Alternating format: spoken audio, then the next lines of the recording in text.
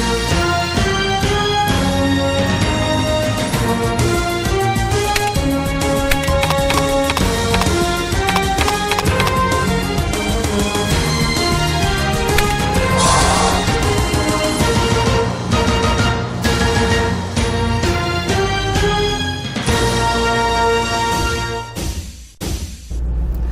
vereador, entrando no ar, hoje recebendo aqui nos nossos estúdios o vereador João Lourenço, do PSC. Obrigada pela sua presença aqui, meu bem. Eu que agradeço, Tânia, mais uma vez. A gente está aqui prestando esclarecimento à população de Jaú. Então, eu agradeço a TV Câmara em seu nome e os demais também que sempre nos ajudam e nos apoiam. Bacana.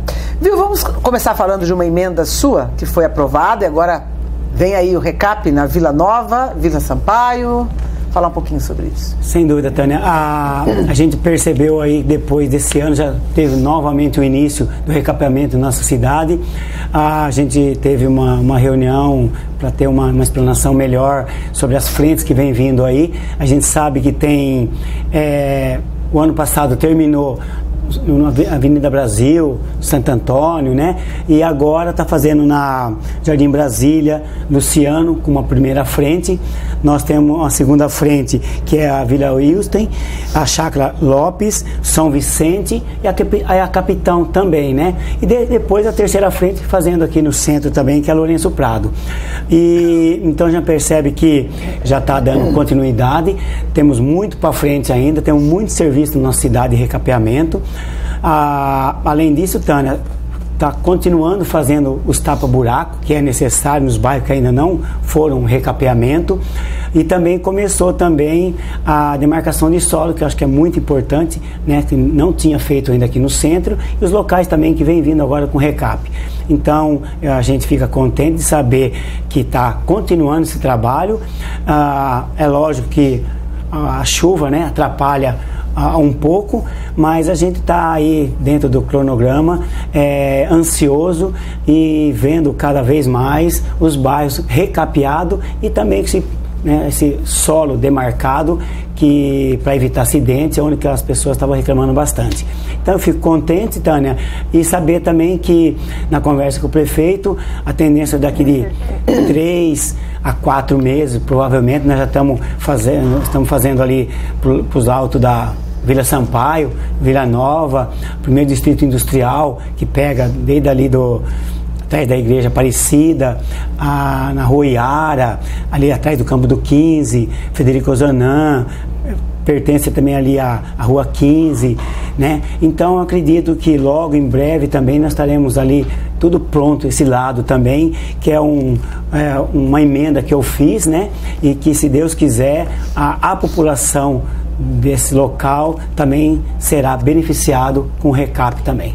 Vão ser 200 quilômetros, né? 200 quilômetros de asfalto, né? É, a gente também sabe do problema das galerias, né, Tânia? Ah, eu também conversei com o prefeito a respeito né, do cronograma e também ah, do meu bairro, que é o Santa Helena, Odete, Sanzouve, Chácara Flora, quando que seria também feito as galerias. E no meu bairro praticamente com um valor menor, é, talvez seja um dos primeiros bairros a fazer as galerias. Então também eu fico contente porque é um local que necessita, nós temos bastante problema ali com, com as chuvas.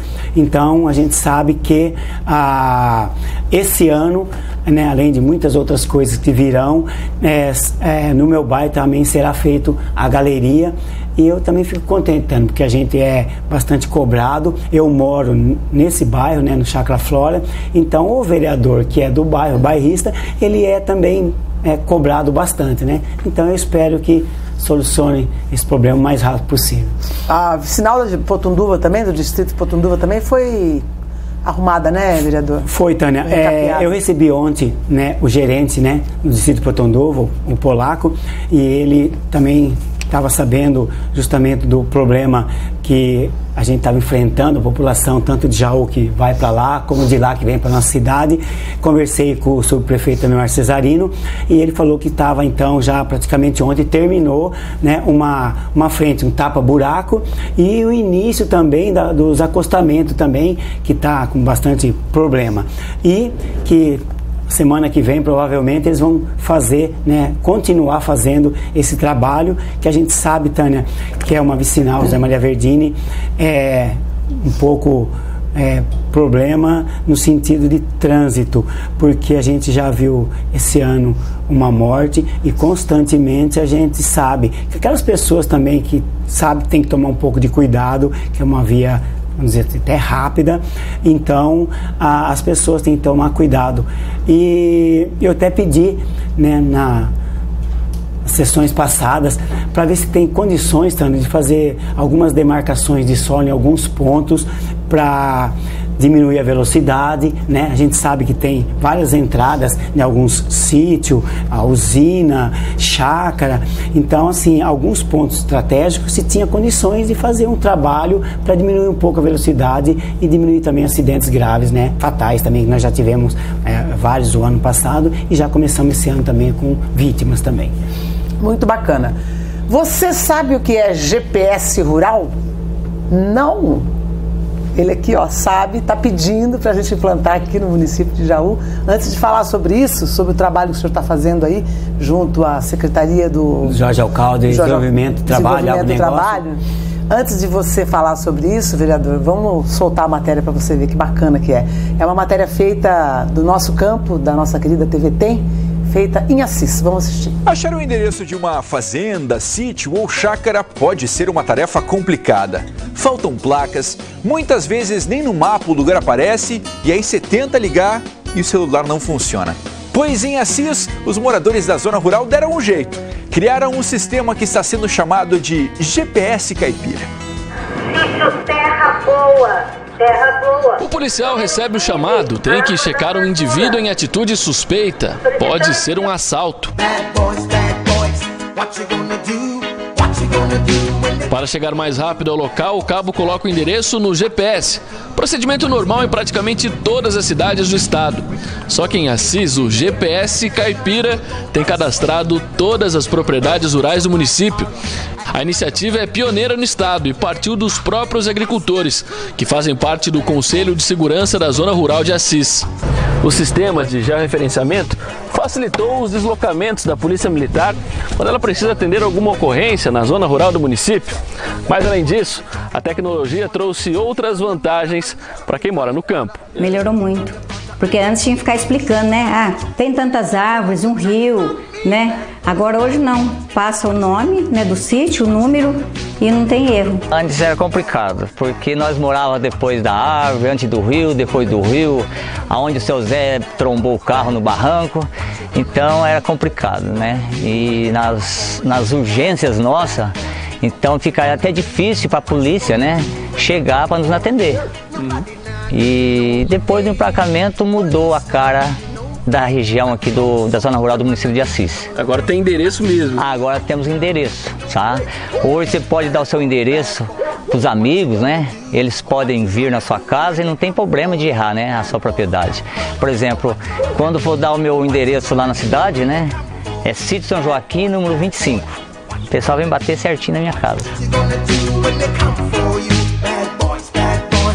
Já são mais de 800 sítios, chácaras e fazendas cadastrados no sistema.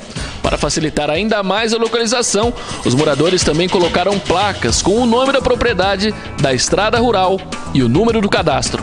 Foi um projeto que deu certo, né? Então, com essa facilidade hoje, através das placas, através desses, tá tudo ligado no sistema, então houve muita facilidade para nós.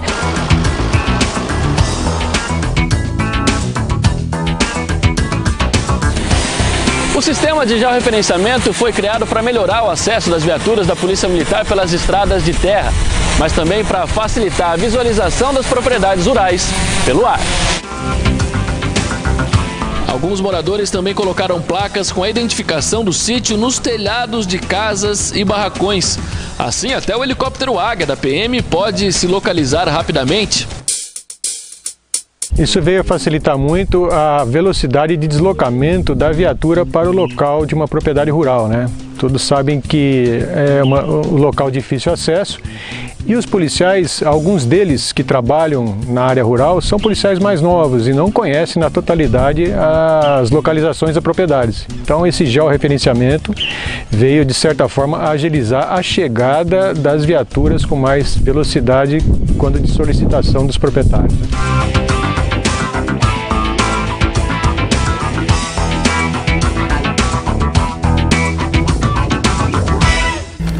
Que legal, né? Ótimo, Tânia. Eu, eu, gostei bastante. Eu acho que é muito importante, né? A, a gente está hoje, além das reclamações que a gente ouve na cidade, né, de assalto, roubo, morte, a gente percebe também que já há tempo, né, os vândalos estão invadindo a, a parte rural. E eu vi esse esse vídeo, achei interessante, percebi que a cidade de Assis ela é pioneira no estado de São Paulo e o responsável também já está passando para outra cidade. Botucatu, se eu não me engano, já também está fazendo esse trabalho e eu achei interessante, né, a gente fazer esse trabalho em Jaú também. Conversei com o senhor Hernandes, que ele é, é o presidente rural, né, da Associação de Assis ele me passou uma outra pessoa que é o que faz esse trabalho, já entrei em contato com ele, inclusive ele já veio aqui no meu gabinete, já conversamos.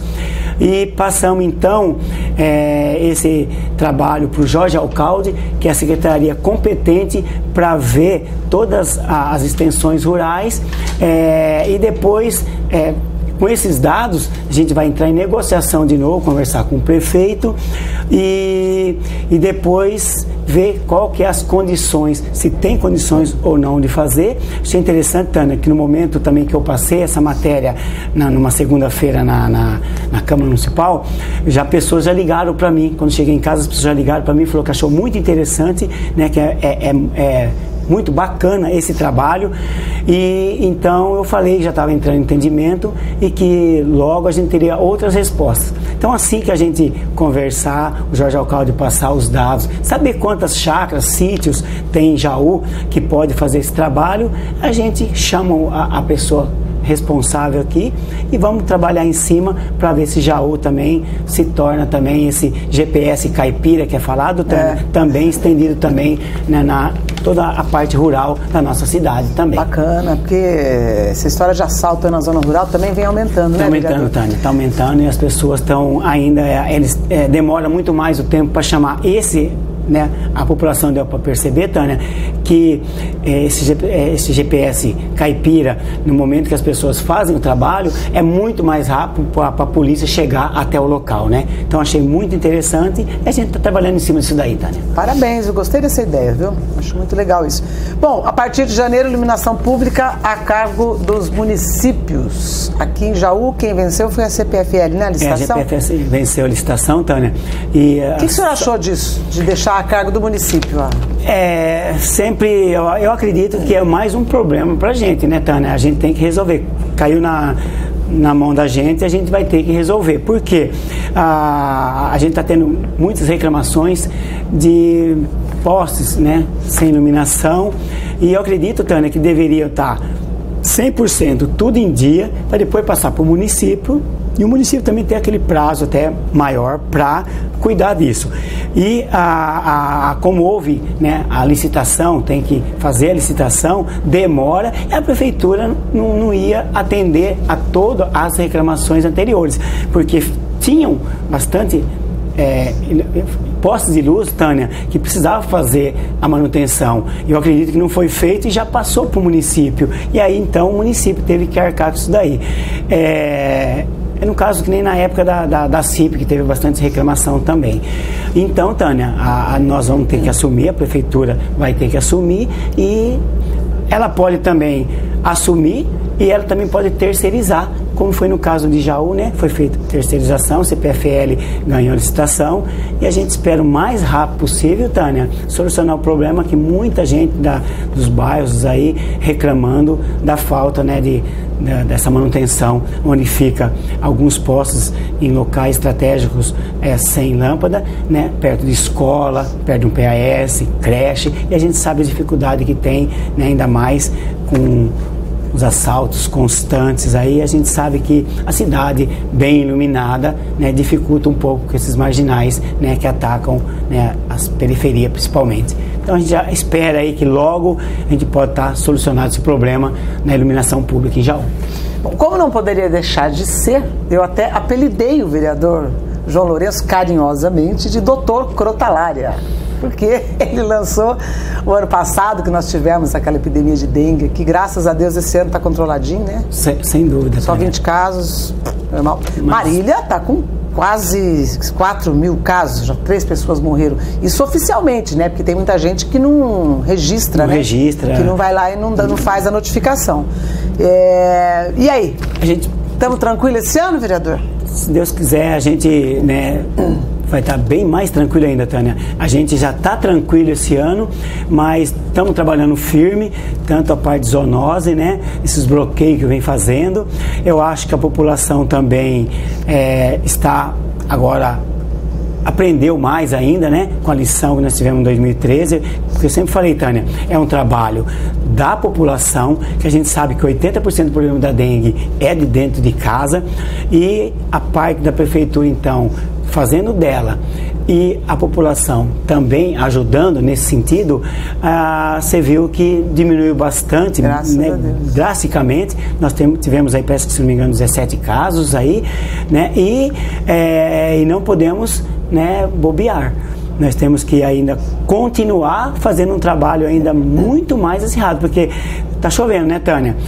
Se tiver problema, é, com água parada e botar os ovinhos, a gente pode ter problema lá na frente. É, então é. hoje. Vira tudo né, de cabeça para baixo. cabeça para baixo, vamos tomar cuidado, vamos. É, é, se gente, as pessoas vê alguma coisa de anormal, vamos, vamos ligar, vamos avisar, né? Então acho que é um conjunto. Todos nós trabalhamos, trabalhando em conjunto, nós temos condições de melhorar muito mais ainda.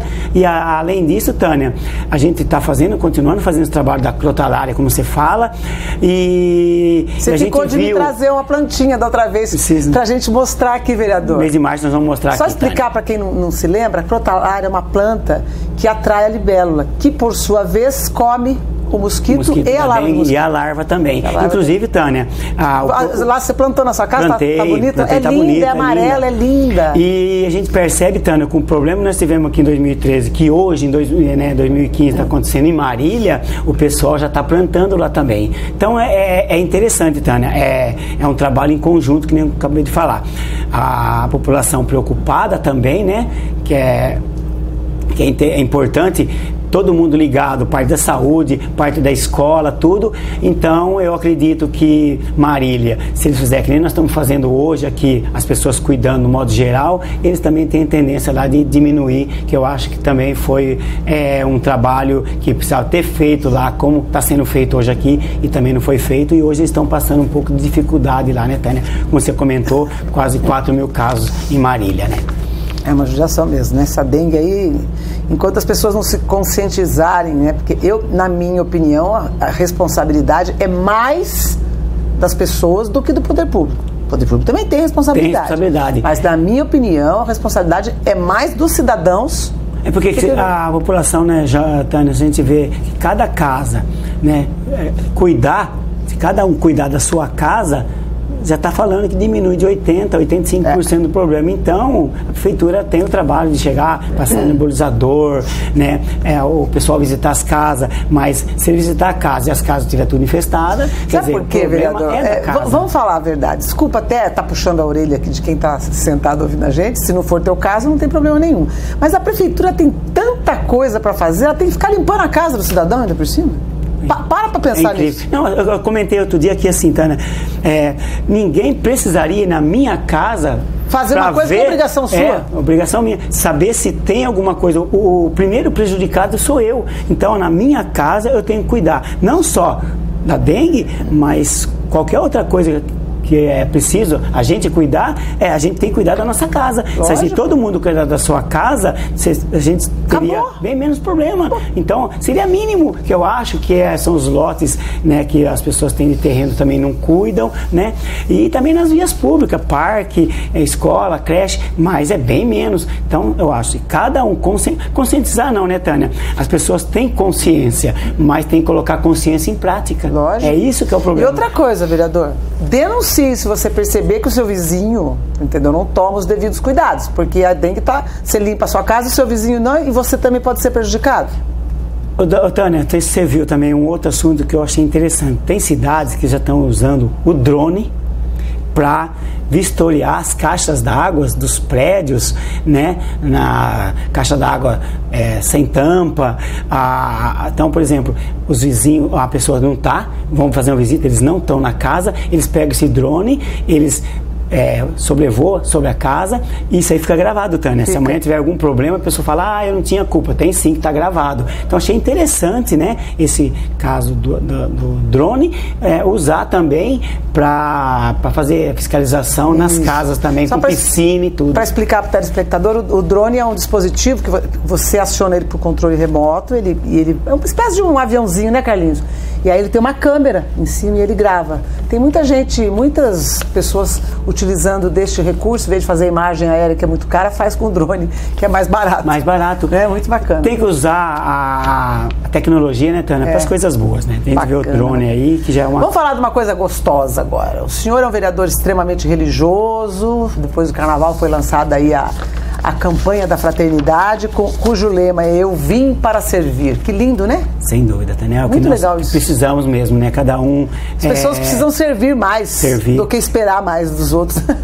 a, a gente vê, Tânia, é, que desde 1964 é lançada a campanha da fraternidade em nível nacional. Então a gente teve vários temas e lemas aí das, da campanha da fraternidade e esse ano, 2015, né, é, o, o tema é eu tenho aqui, Tânia, deixa eu ver aqui o tema. O tema Fraternidade, Igreja e Sociedade. E o, o lema, lema Eu Vim para Servir. Eu participei né, em São Carlos, né, inclusive o bispo é, Dom Sérgio estava lá. E, e, ele fez uma explanação bacana, Tânia, que a gente está nesse mundo aqui, de fato, é para servir. Se todo mundo né, pensar nesse sentido, né, um ajudar o outro, a gente teria bem menos problema, né, Tânia? E então, é, no ano 2015, eu espero que as pessoas possam estar um pouco mais voltado para esse lado, né, de abrir mais seu coração e tentar ajudar. É, é bem melhor, Tânia. A, a gente ajudar, a gente estar tá próximo daquelas pessoas que a gente ama, a gente tem uma vida né, com os filhos, é, estudando fora. Tendo tantos problemas né, na, na, na, cidade, no Brasil. Então, acho que cada um desarmar, tentar ajudar, tentar conviver com os vizinhos, onde que a gente, a gente estiver, a gente, por exemplo, tratar as pessoas melhores, tentar socorrer. Então, esse então é o lema, eu vim para servir. Eu espero que a gente possa aproveitar bastante a campanha da fraternidade, Tânia, que ela estende durante todo o ano. Que ela seja praticada, né, vereador? Sem dúvida. tá certo, dúvida. então. Gente, nosso tempo acabou, vereador. Muito obrigada pela sua presença. Recebemos aqui o vereador João Lourenço, do PSC, e agradeço também a sua audiência.